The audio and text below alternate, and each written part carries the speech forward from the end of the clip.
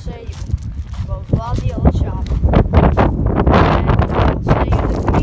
about I'm in Wadi Al Shab right now. Now this speciality of Wadi Al Shab is that you can find no greenery in Wadi el-shab all over the Oman.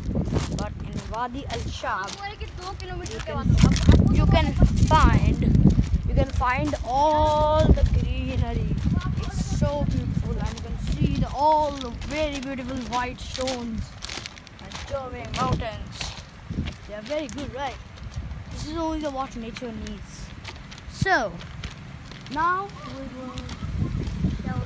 After two kilometer, Wadi so Shah, will come. So Allah Hafiz friends, I will meet you on my next adventure from Wadi Shah. Okay, Allah Hafiz.